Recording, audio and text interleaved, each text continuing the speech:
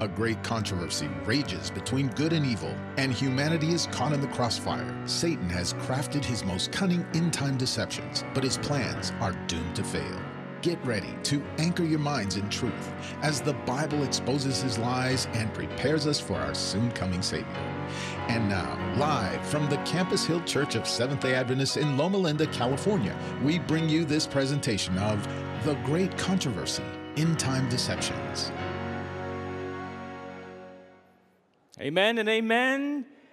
We are here bringing you a message from the Lord in the Campus Hill Seventh day Adventist Church. Part of 3ABN Winter Camp Meeting continues. The blessings continue. And we just want to welcome you and hope that you have been blessed thus far. And there are more blessings coming. And during this hour, we have a message from Dr. Tim Standish Darwin versus the Creator's account. Also, the title is Delusions, Illusions, and Reality. I would like to read to you Dr. Tim Standish a uh, little biography because I can't remember all this.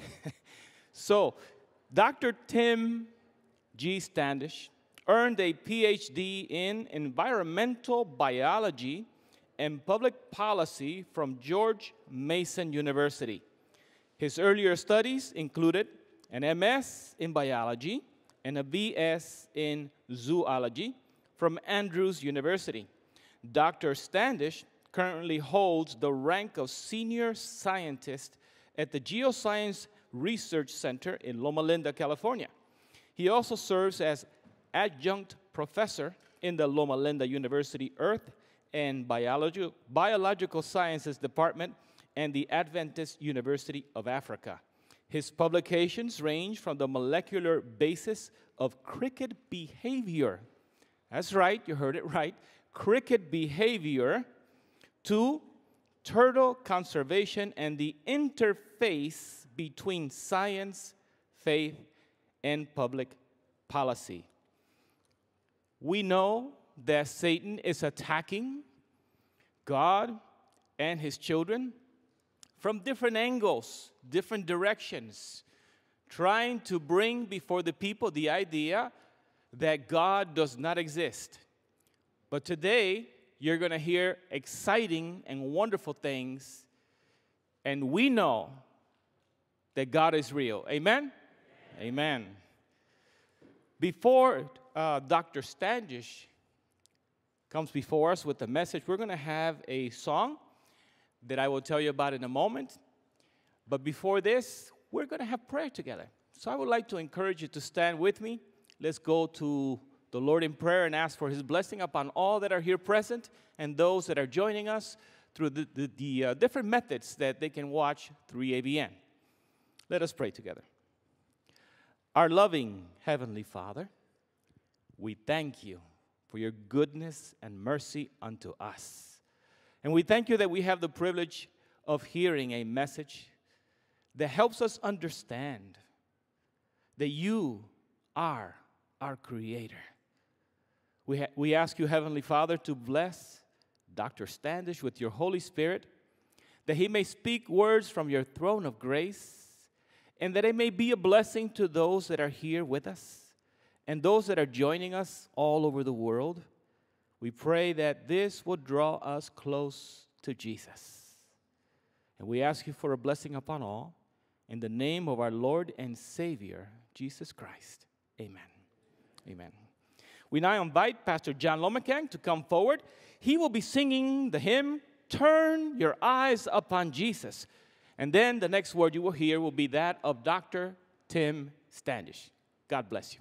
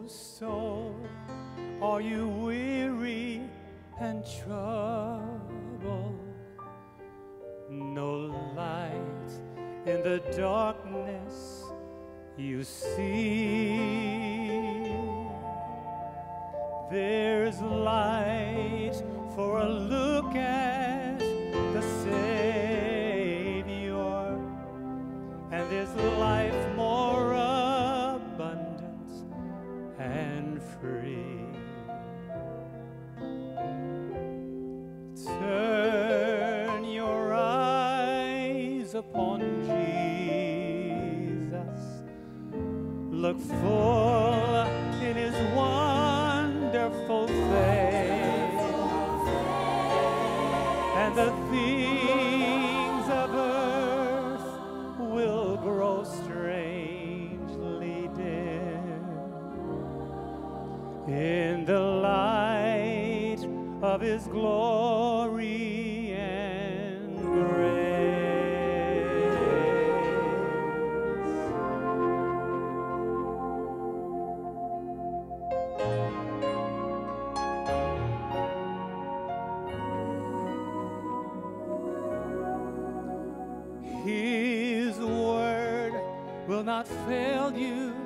he's promised.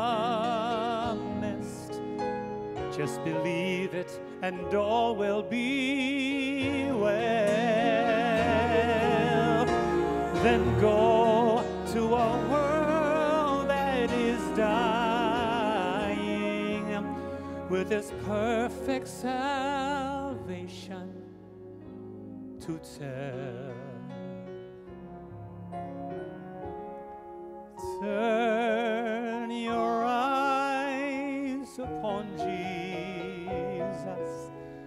And look full in his wonderful face. And the things of earth will grow strangely dim in the light of his glory and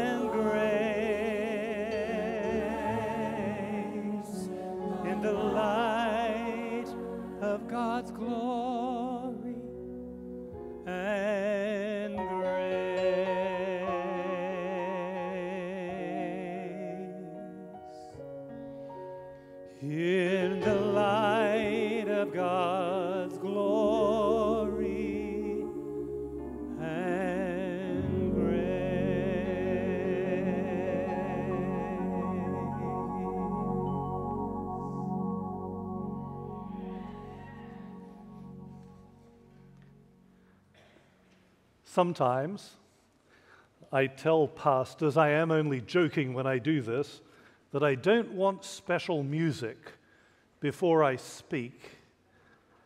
Because how can you match that? Turn your eyes upon Jesus. Why would we want to look at Jesus? I know my reason. There is something beautiful there for you to see. And I am a man with a terrible weakness. I like beautiful things. I live here in Southern California, and just walking over here to the Campus Hill Church, how much beautiful could it be? Blue skies, snow up on the mountains. Wow. And now we get to have this beautiful experience together. Because I want to talk with you about beautiful things. But just a word of warning there are people who don't want you to see the beauty out there. There is an end time deception that blinds people to beauty. Let's read about it. The coming of the lawless one is according to the work of Satan, with all power, signs, and lying wonders, and with all unrighteousness, unrighteous deception, among those who perish. Now, I don't know about you, but I still quite like life. I don't want to perish. Life is a beautiful thing, it's a precious thing. Why are these people going to perish? Because they did not receive the love of the truth that they might be saved. Truth is a beautiful thing. And yet, there are those who do not want to see it. And now come some of the most chilling words in Scripture. This is Paul. He's writing to the Thessalonians, Greek people, and he's warning them. He's saying, if you don't love the truth, if you don't value it, there is something that I'm warning you about. And for this reason, God will send them strong delusion. Who's sending it? God. That frightens me. People who do not want truth will embrace deception. And that deception comes from God. Wow. God provides something else. He provides this strong delusion that they should believe the lie. If we love pleasure over what is true, we will be deceived and we will die.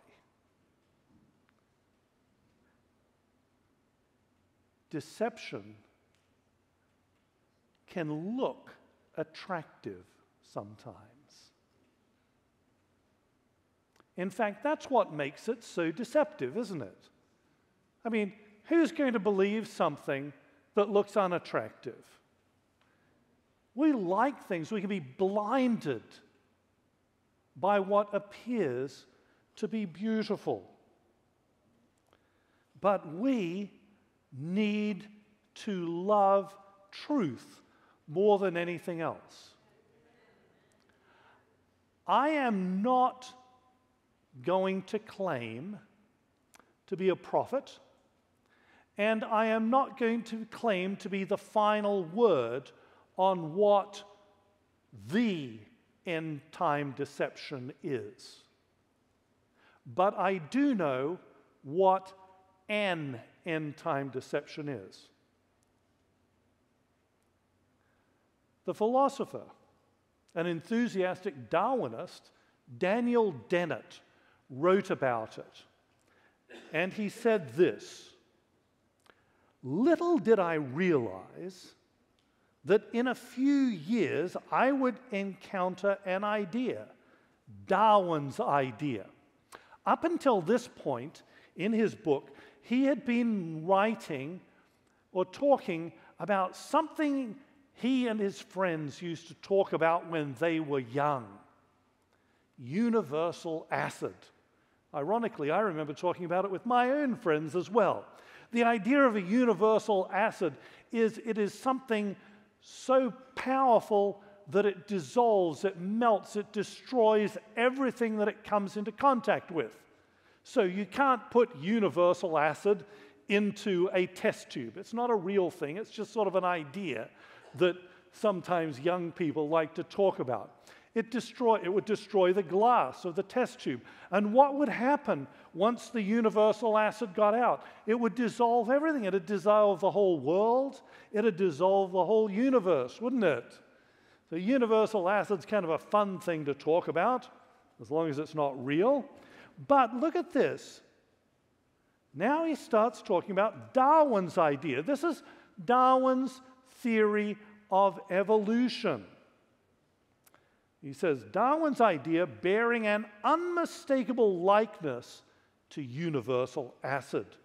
It eats through just about every traditional concept and leaves in its wake a revolutionized worldview. Are you familiar with the concept of a worldview?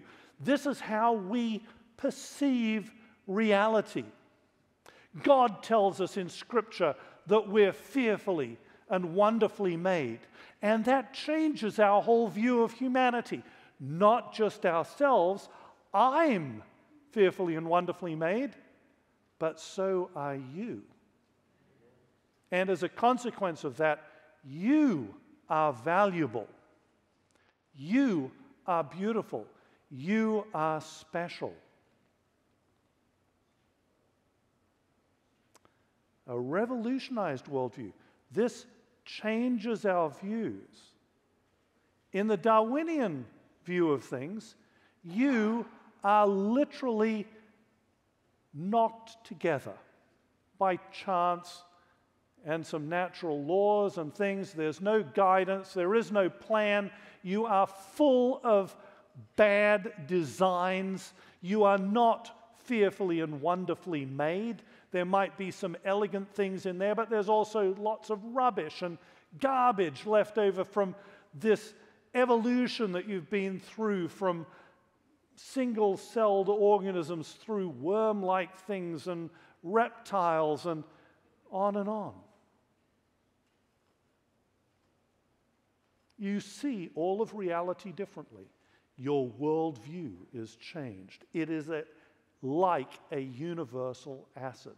It destroys the universe in one sense and provides an illusion instead of a real universe. One in which most of the old landmarks are still recognizable but transformed in fundamental ways. You can still recognize that somebody is a human being. But a human being is a different thing. A human being is not beautiful anymore. Several years ago, I had a beautiful experience. Something went wildly wrong in Israel and as a consequence of that, I know this seems unlikely, I wound up in Athens with my friend Darius.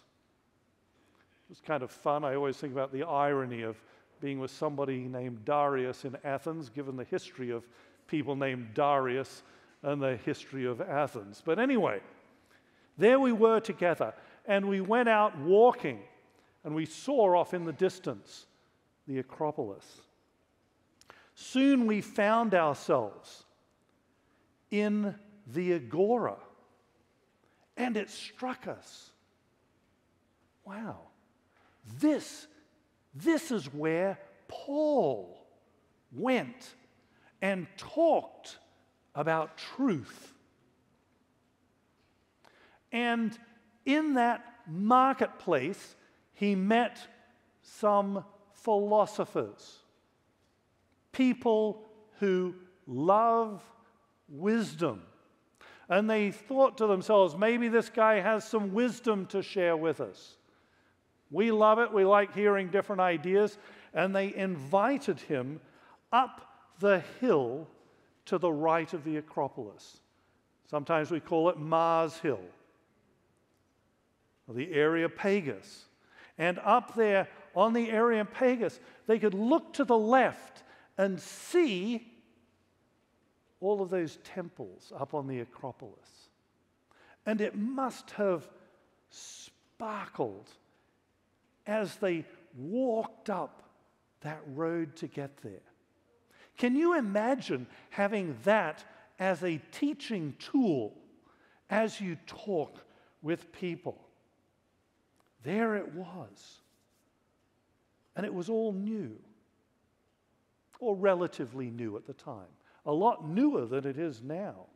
It must have been amazing as Paul looked over there, and I'm willing to bet you that he was gesturing and pointing towards those temples.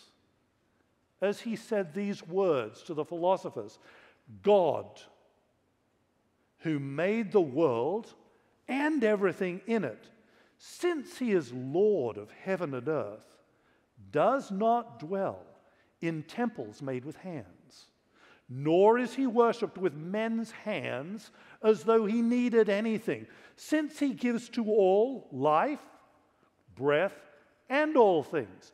Everything comes from God. We can't give him anything back that he needs. And he has made from one blood every nation of men. Can you see how he is telling the story of creation here?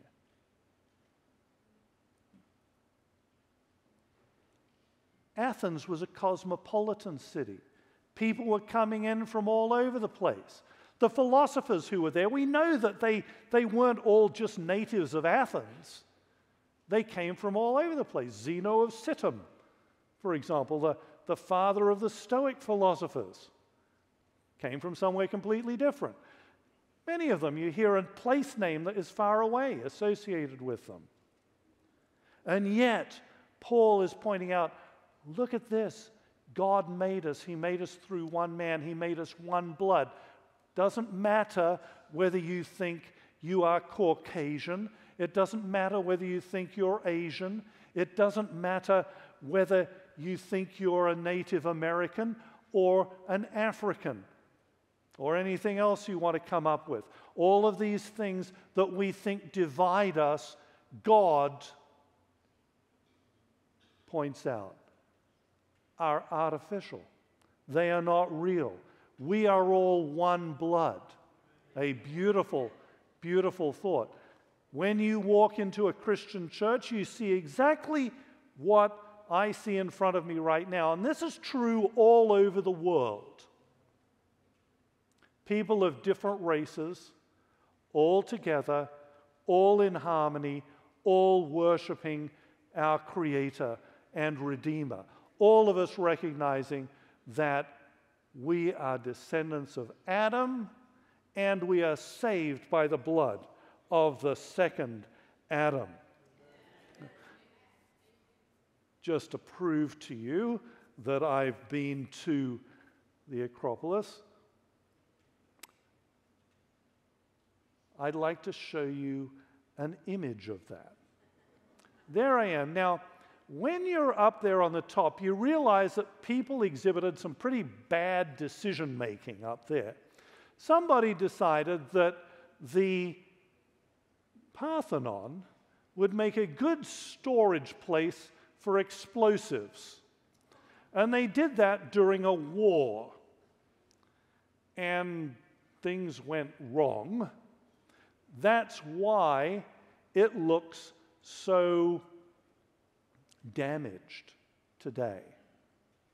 But when we look at it, we see some interesting things. Now, I need to give you a warning right now because I'm going to start talking about some math.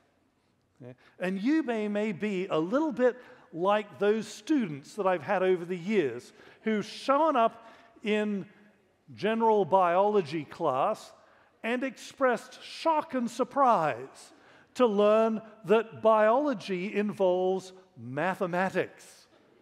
But it does, and it's fabulous. So don't panic, don't panic, because you don't have to be a genius mathematician. I want you to just look at the shape of the Parthenon up there. Remember, this is something that Paul was seeing as he talked about these temples made with men's hands. And I will tell you, it is beautiful even as a ruin. And what you can see very clearly in this building, but only really if you take a trip to Nashville I know that seems improbable, doesn't it? But if you take a trip to Nashville, you will see that there is the Acropolis there. Sorry, the, the, the, the Parthenon there. It has been reproduced. And so you can see it a little bit more clearly, and you can see that there's something interesting about those proportions.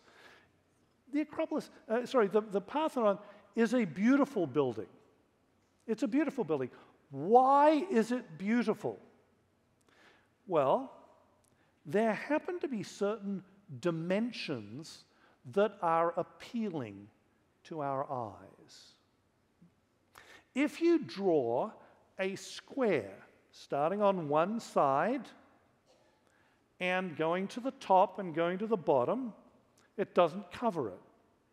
But then if you do another square that takes you from the top to the other side of the Acropolis, still doesn't really do anything. But then if you do another square underneath that square at the edge going to the bottom, and then you start filling it in with another square, all of a sudden you find that the entire thing is actually defined by squares, and the space that you have left over inside is exactly the same shape as the rectangle formed around the outside. And so you can fill that one in with squares and you get the same pattern. And you can fill in the little tiny bit of remaining space with more squares. And it actually goes on forever. It's a kind of interesting, interesting, interesting shape. If we start looking at the proportions of that shape, there is some interesting mathematics going on with it. It turns out that if we take that first, the, just the side of that first square, and we call it A, and we look at the ratio of A to the next square, which we'll call B, it turns out that it's the same as the ratio of those two sides. And the same is true as you go through all of these combinations of squares. It's kind of fun, isn't it? This is, this is not math with numbers, it's math with squares. And squares are relatively simple kinds of shapes. We call this kind of rectangle that's made up with this infinite number of squares a golden rectangle. And if we take the ratio of the two sides, we get an interesting number. And this is where things really become fun. Okay? That number is A plus B divided by A, which happens to equal A divided by B. That's kind of weird. Kind of weird. It's a strange number, and being strange, we give it a Greek letter. And that Greek letter is phi. One of the best Greek letters out there because you can do all kinds of fun uh, puns with it. Phi am I here this morning? Phi do I exist? Uh, they're not that good, really, are they? And um, this particular number is an irrational number. That means it goes on forever. It, it's not like 1.25 or something like that and ending there. It's an irrational number. It goes on for eternity, for infinity. It's a divine number, a really special one.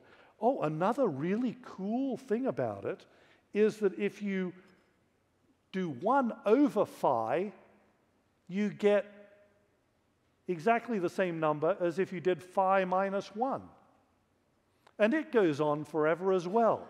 We symbolize that with lowercase phi. Don't worry, you don't have to memorize this, But you've probably heard of another number that's kind of like this called pi, which is the tastiest number in the Greek alphabet. Yeah.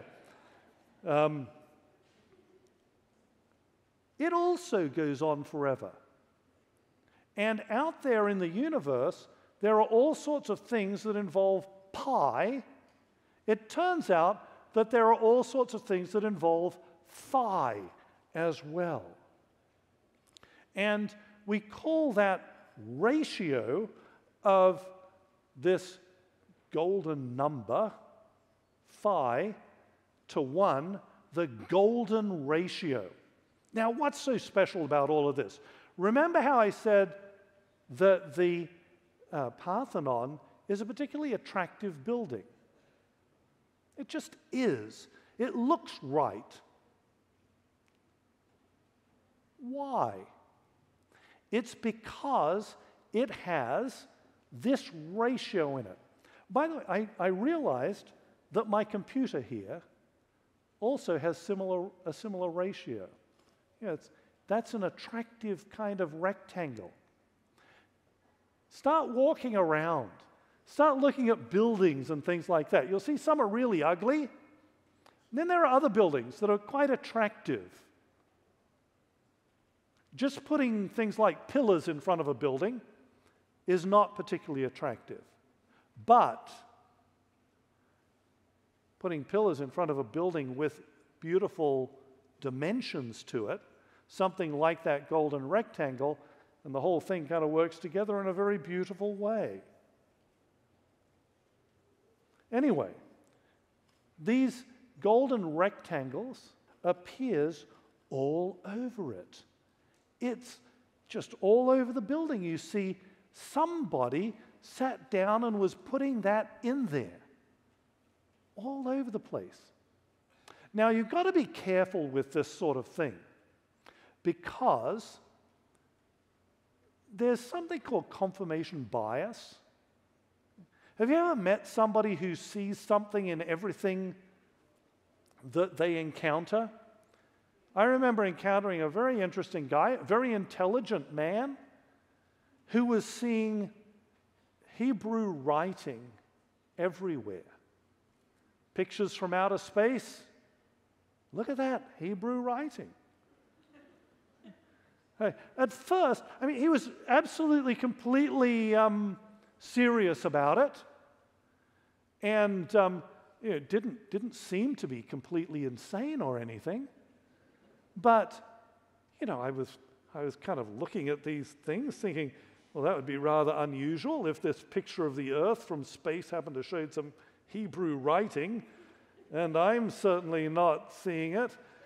Um, am I the, uh, am I the uh, blind one, let's say? There was no Hebrew writing there. So we do have to be a little bit careful about overstating things sometimes. But when you look at that Parthenon, you do see that ratio showing up over and over and over again. Maybe the person who designed it just had much better taste than I have naturally. Or maybe, much more probably, they knew something about phi and they realized that there was something pleasing to the eye about it. And so they were putting it in all over the place, taking advantage of some geometry, if you want to call it that, some math. This fabulous number, phi, it's, it's just everywhere. And once you start looking, you see it. We know that the Parthenon was designed by brilliant men. We know that it was made with men's hands. I'm a biologist, and I've already confessed to you that I love beautiful things. I have the unusual privilege of being married to the most beautiful woman in the world. Some of you might be too. when I look at her face, of course, I see a lot more than golden ratios. However, in her face, there are golden ratios all over the place.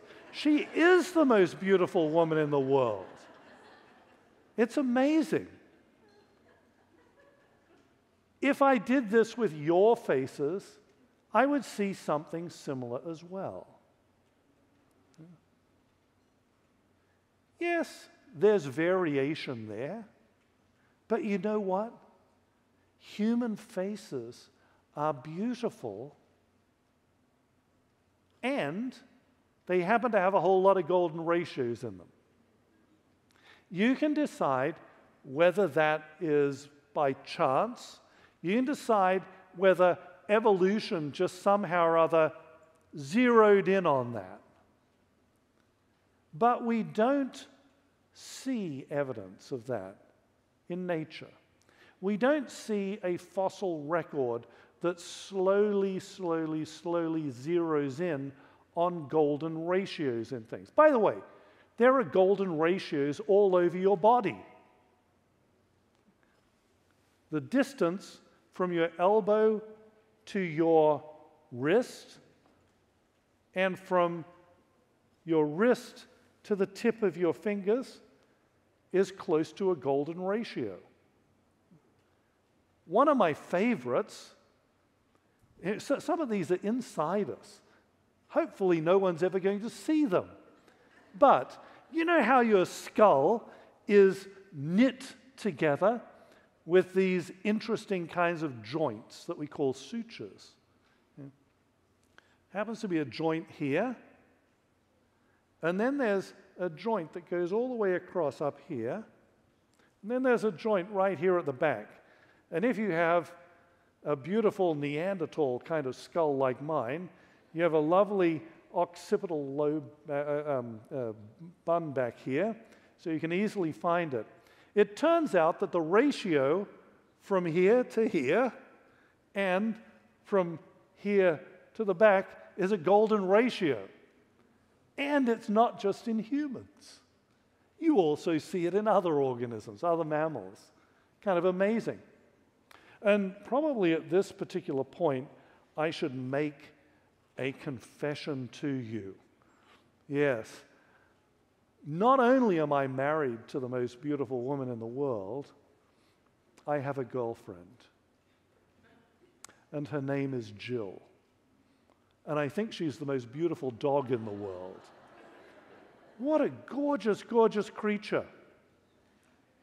Gift from God. She's just so full of love and perfection. When I watch her move, it's amazing.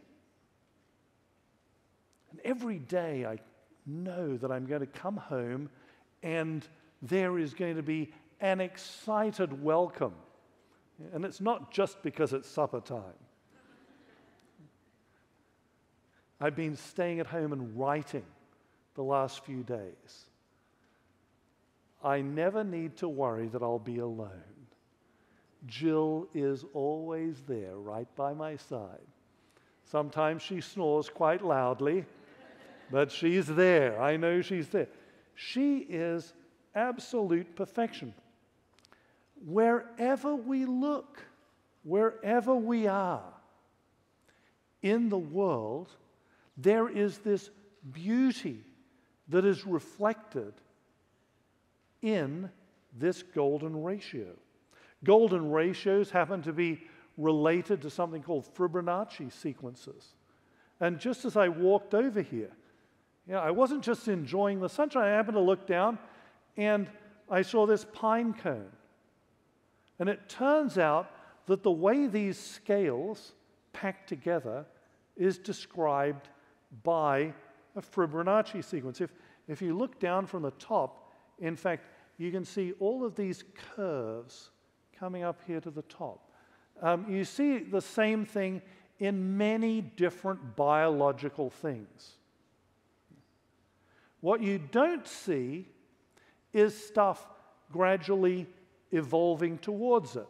There are fossil pine cones, and guess what? They exhibit exactly the same thing. Sometimes people point out that there are practical reasons why you would want to pack things together in that way. And yes, there are.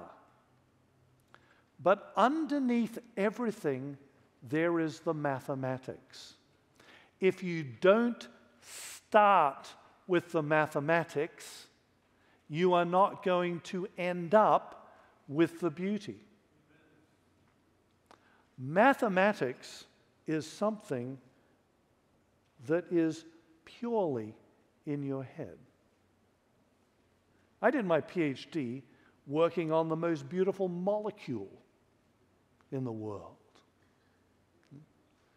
And the great thing about this molecule is that it's found in every single living thing. It's called DNA. And there are many, many, many wonderful and beautiful things that we could talk about with DNA. But I just want to point out to you that one turn of that double helix happens to fit inside a golden rectangle. And when you look at DNA, there's something called the major groove and the minor groove. It turns out that the ratio of the major groove to the minor groove fits a golden ratio. That's one reason why, when you look at DNA, it looks so cool. It's just a really, really cool shape. And it conforms to this fascinating, fascinating geometry. Reason for that is because that ratio of the width to the length of one twist of DNA happens to fall into what's called the Fibonacci sequence, and the Fibonacci, Fibonacci sequence approximates the golden ratio. And the further you go along the Fibonacci sequence, the closer the approximation is. It's amazing. It's absolutely amazing and beautiful. And it's not the sort of thing that you slowly, slowly zero in on. It's either perfect from the start or not at all. The mathematics, which is completely abstract, completely a product of minds must be right first. And if it's not, no living thing exists because everything depends on DNA. There's another interesting thing about this business of filling in the golden rectangle with squares. If you start drawing curves in those squares, you get a very interesting kind of spiral. And you see it in lots of different places. One place that you see an approximation of it is actually in your cranium. This is like the beginning of a spiral, and if you go around like this, and if you kept on going inside, so it, the, your skull itself approximates that shape. It's one of the reasons why going bald isn't so bad. you let people see that beautiful curve. Yeah. But you also see it in nature. And I love show and tell, so I brought a couple of examples here with me. Um, this is a fossil of a chambered nautilus. And if you look at it, it approximates that curve. Hey, have you ever looked at one of these things and just sort of felt like, man, that's quite beautiful? That's a beautiful thing. If you have, it's probably not surprising to find, yeah, there's something in there about that golden ratio, golden rectangle, golden curve, whatever you want to call it. Now, here is a similar but different creature.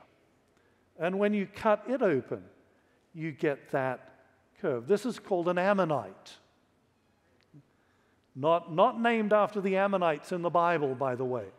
Named after the Egyptian god Amun, um, who had horns that curved around, kind of like this. Yeah, so it's, a, it's an interesting thing. Beautiful, beautiful stuff. Just a few months ago, I was walking along the uh, coast in, in England, the southern coast. There's an area there that they call the Jurassic Coast. And I came across this. These are some, some ammonites. You can see them actually in the, in the rock itself. So these haven't been, been removed from the rock. And I looked at these, they were everywhere.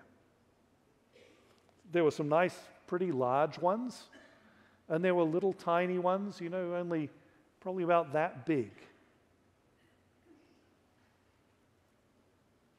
And I thought to myself, there are people who believe that these rocks are on the order of 80, 100 million years old.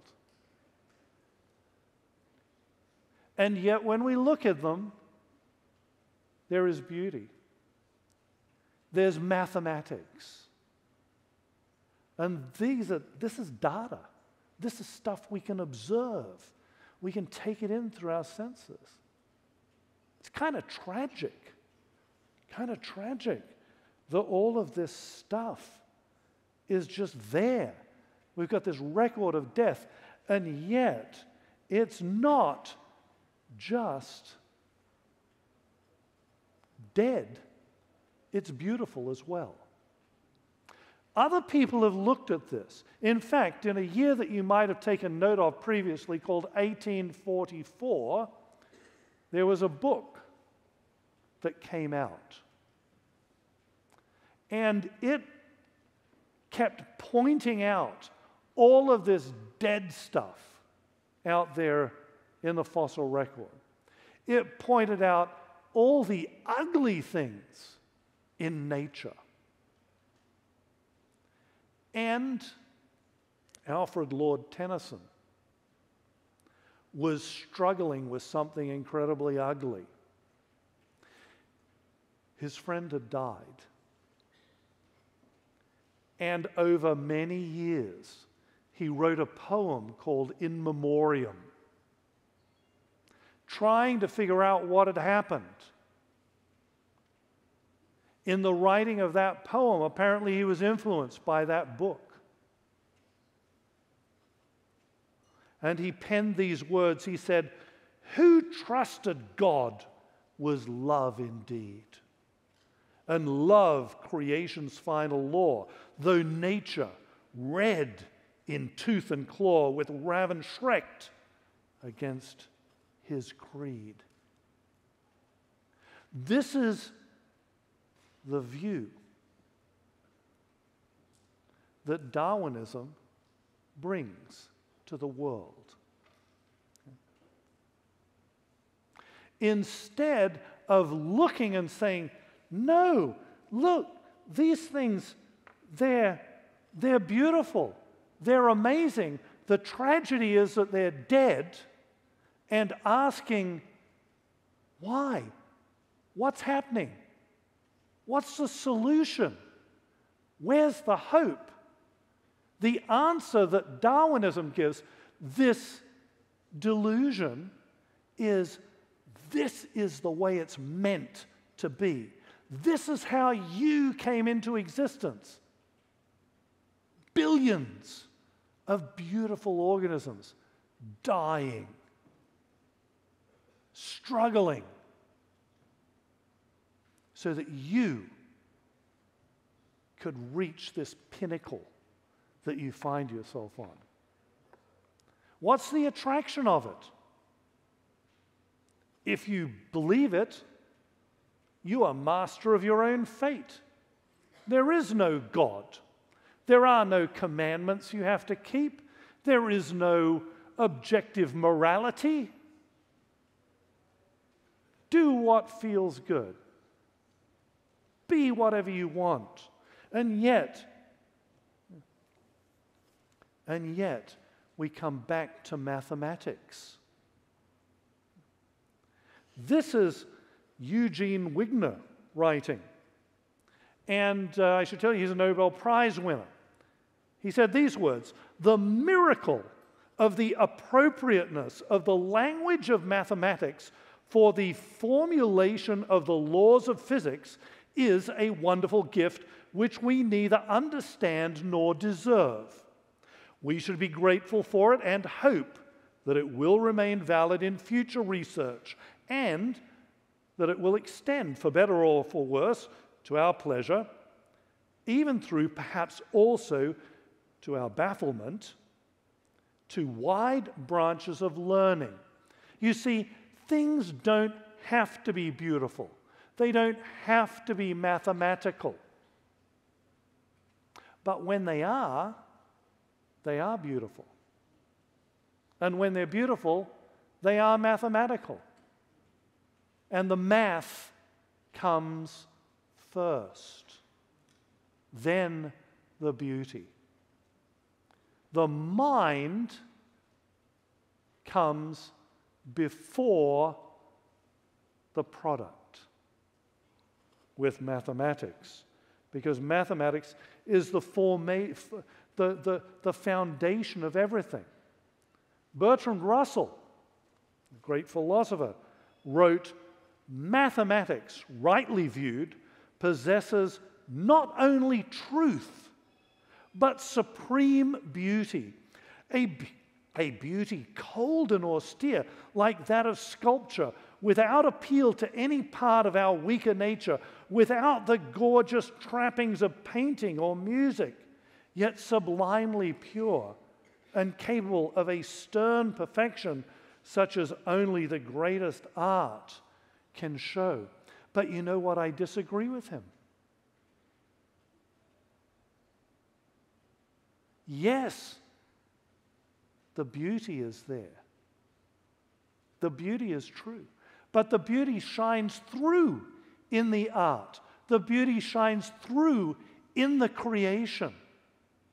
Not just physics or chemistry, biology. Biology is mathematical too. And it's beautiful.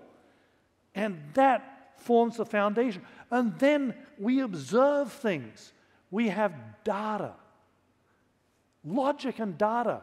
That's science. And together, in addition, we have art and beauty and emotion. When you see things lining up together. When they form a pattern, you know, there's, there's a joke among archaeologists three stones in a row, and you have a wall. When you see major patterns of data and they are lining up and all pointing towards the same thing, that thing, that truth that they are pointing towards, is something that we can have reasonable confidence in. I'm going to end with a truth that was voiced by probably the greatest biologist other than God himself mentioned in the Bible, King Solomon who was a biologist. Solomon wrote, He, this is God, has made everything beautiful in its time. Also, He has put eternity in their hearts. See, this is where it actually gets interesting for me. Not only has God made everything beautiful, He's put eternity in our hearts. Except that no one can find out the work that God does from beginning to end. Remember how phi was an irrational number? You're never going to get to the end of it. The creation was made by an infinite God. When He comes again, when He does that new creation, when we go to heaven and we live with Him eternally, His creation is never going to stop giving us wonder and beauty and things to be amazed about. And that is a truth that we have to share with the world today that is in the grip of a profound delusion. Let's end with prayer. Dear Father, our Creator and Redeemer, I thank you for the beauty of your creation. I thank you for giving us minds and senses to observe and comprehend the beauty, at least to some degree. I pray for that wisdom that only your Holy Spirit can give as we struggle with end time deceptions. Don't let us be deceived. Enlighten us with your spirit of truth and give us a love for what is true and beautiful, I pray. In Jesus' name, amen.